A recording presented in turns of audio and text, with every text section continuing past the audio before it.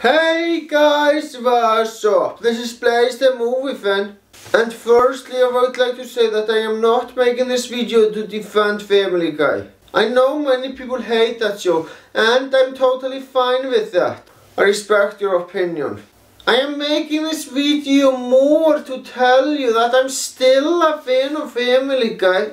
And I still watch the show on frequent occasions and laugh a lot. Now I'm gonna tell you what I think of the fourth season of Family Guy, which is the current season. To be honest, there's only one episode which I hated, and the rest of them are fucking awesome. The thing that I like most about the fourth season of Family Guy is the fact that Brian Griffin is not an unlikable cunt anymore. In fact, he hasn't done anything that could be considered scummy in this season.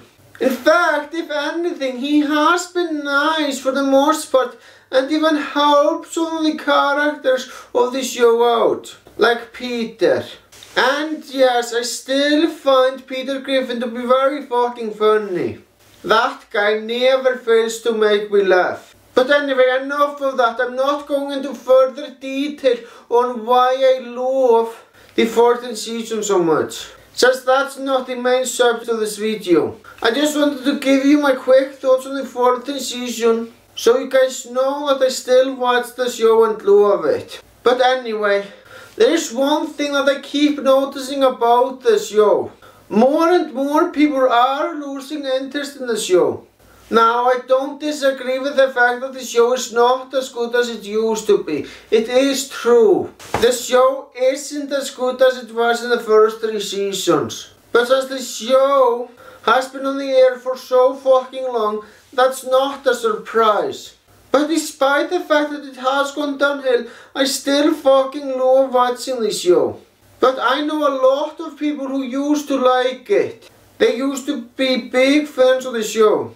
Almost all of those people that I know that used to be fans are no longer interested in the show or fucking hate it. And that makes me feel like I'm the only fan of Family Guy left. Is it true? Am I the only fan of Family Guy left? And by fan of Family Guy, I mean, of course, a fan of modern Family Guy. Am I the only one left? It is pretty sad if that's the case. But I sure as hell hope that I'm not the only one left. Because I really enjoy watching the show. The reason why I love it so much is because dumb humor is what makes me laugh. And that's what this show mostly consists of. The show is still very weird, very dumb. And that's what I fucking love about it. Also, I know that many people are gonna disagree, but I actually like Family Guy more than South Park. Now don't get me wrong, I do think that South Park is a fucking awesome show. But when I just wanna laugh, I watch Family Guy instead of South Park. The main reason why I like Family Guy more than South Park is because I like dumb humor more than smart humor. Which is what Family Guy is. But anyway, I got nothing else to say. Thank you guys for watching and you all have a fantastic day.